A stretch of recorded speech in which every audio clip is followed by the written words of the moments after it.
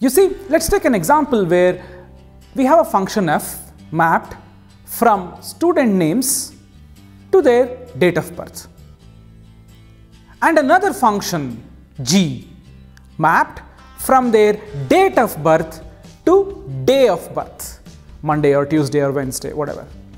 Now you see there's a function f from a to b and a function g from b to c. What will you get in case you take a composition, rather a combination of both the functions f and g? You can see what is the day of birth of a student, correct?